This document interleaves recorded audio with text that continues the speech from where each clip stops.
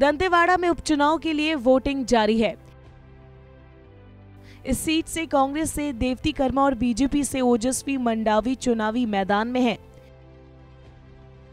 लोकसभा चुनाव के वक्त चुनाव प्रचार के दौरान दंतेवाड़ा विधायक भीमा मंडावी की नक्सलियों ने ब्लास्ट कर हत्या कर दी थी, जिसके बाद ये उपचुनाव कराया जा रहा है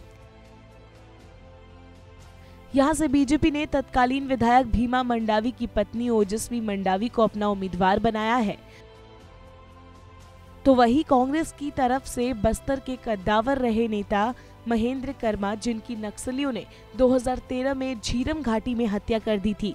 उनकी पत्नी देवती कर्मा को कांग्रेस ने अपनी पार्टी से चुनावी मैदान में उतारा है।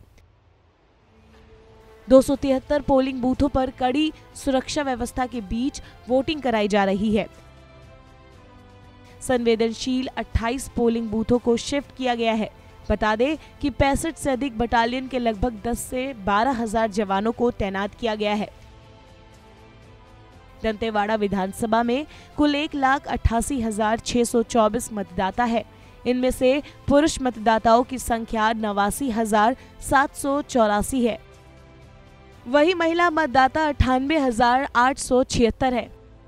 वही इंद्रवती नदी पार के सारे पोलिंग बूथ को मुंचार और छिंदनार में शिफ्ट किया गया है। इंद्रावती नदी के तीन घाटों में लगभग 10 से ज़्यादा मोटर वोट और होमगार्ड गोताखोरों की व्यवस्था की गई है, जिससे ग्रामीण मोटर बोट के सहारे नदी पार कर वोट देने, मुंचार और छिंदनार आ सके।